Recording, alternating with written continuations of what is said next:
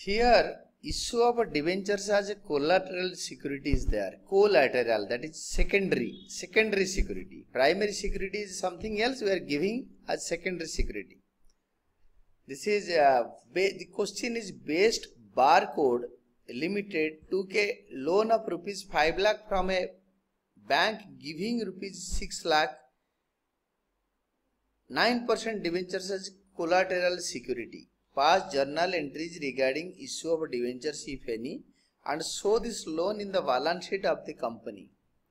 Yes, here I will prepare the wholesome balance sheet to know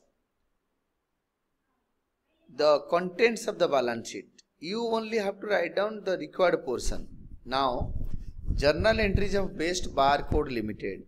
First of all, we have to draw the format and we took the loan. That is bank account debited to bank loan account. Being bank loan raised by the company taken by the company rupees 5 lakh in the debit and credit column.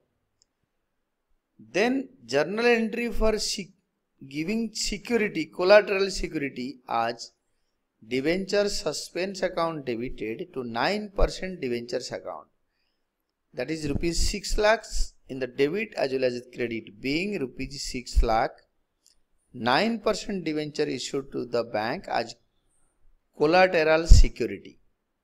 The total will be 11 lakh in the debit column as well as in the credit column. Hence, after this we have to show this in the balance sheet. Now come down to balance sheet. Balance sheet of a Best Barcode Limited as per Schedule 6 Part 1 of the Companies Act 1956 as at date. Relevant portion only only required. You have to write down only first two lines liabilities and shareholders funds and long term borrowings. Nothing else more. But i have written the entire balance sheet because you have to learn this for the first chapter of volume 3 here particulars this is the first column note to second column. Figures at the end of the current reporting period third column. Figures at the end of the previous reporting period fourth column.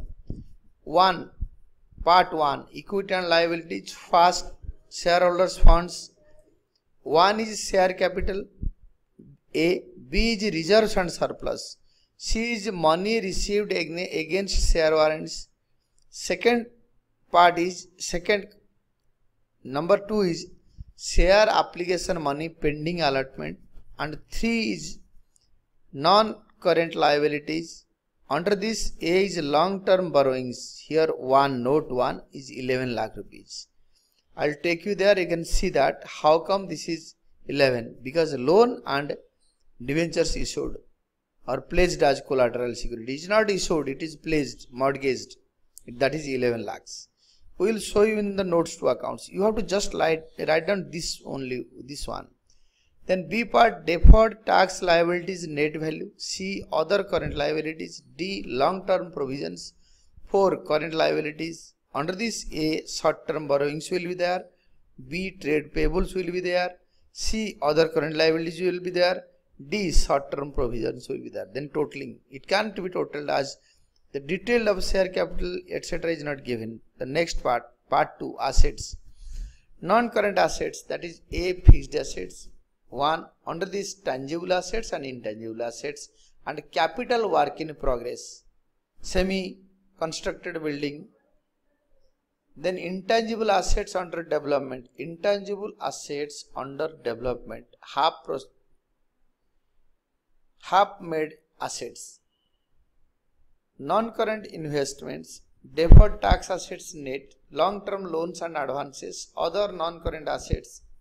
Then part 2, current assets, A part, current investment, B part, inventory, C part, trade receivables, D, cash and cash equivalents in the second that is rupees 5 lakhs, E, short-term loans and advances, F, other current assets and the total. The next one will be notes to accounts 1 long term borrowings. Under this head bank loan rupees 5 lakhs and 9% debentures rupees 6 lakhs. And total is cash and cash equivalent as available information as per the available information that is bank loan. And uh, this is these are your notes to accounts and we have given a short note for this there is no sufficient information regarding the preparation of balance sheet.